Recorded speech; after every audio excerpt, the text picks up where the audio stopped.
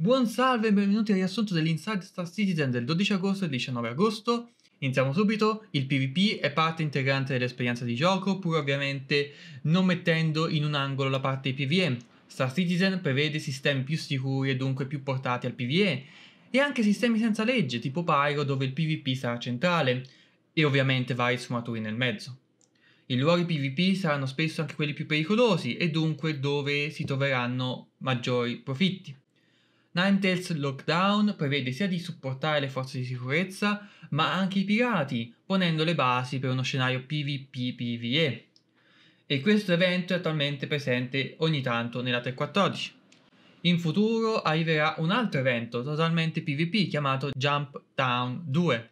Per chi non lo sapesse, in passato si poteva comprare sostanze illecite ad un costo molto ridotto a Jump Town su Yela questo rompeva totalmente l'economia di gioco, ma portava i giocatori a scontrarsi ferocemente per il dominio su quell'area. Jump Town 2 vuole riproporre questo tipo di situazioni, ma come evento dinamico ripetibile. Questo ovviamente per non distruggere l'economia, visto che le sostanze saranno disponibili ad un prezzo molto ridotto solo per un periodo limitato, ovvero qualche ora. È un evento che punta al gameplay emergente dove vengono dati degli elementi e poi saranno i giocatori interagendo tra di loro a creare dinamiche nuove e interessanti. Sarà anche possibile requisire la droga a quanto pare e darla alle forze di sicurezza per ottenere reputazione. I ragazzi di Firespret, cambiando discorso, stanno lavorando ad un rework delle mappe di Arena Commander ovvero Broken Moon e Dying Star, in arrivo questo per la 315. Saranno circa 10 volte più grandi rispetto a prima, avranno tre aree distinte in modo da rendere i combattimenti un po' più vari e ovviamente utilizzeranno gli assets e le tecnologie più recenti sviluppate dalla CIG.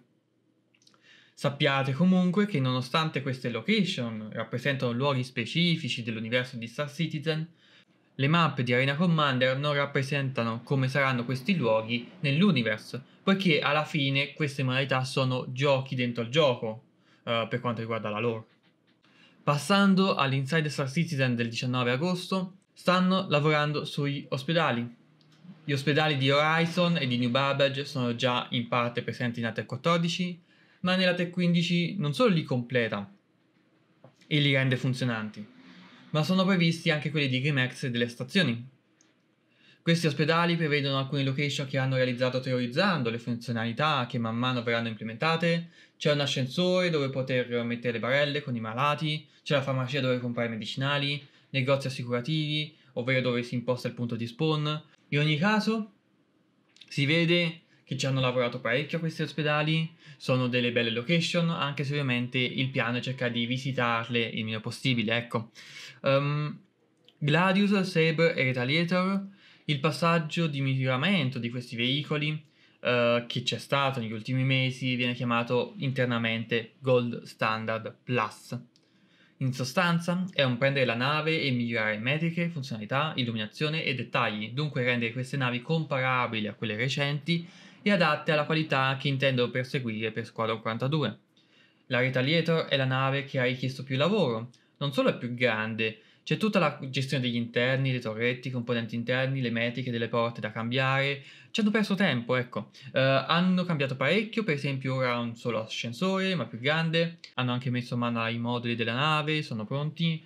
Uh, bisognerà aspettare però che la funzionalità di swap dei moduli sia pronta, ecco. Uh, su un TM. E niente, con questo abbiamo finito, qui è Marco Sass e ci sentiamo al prossimo video. Ciao a tutti!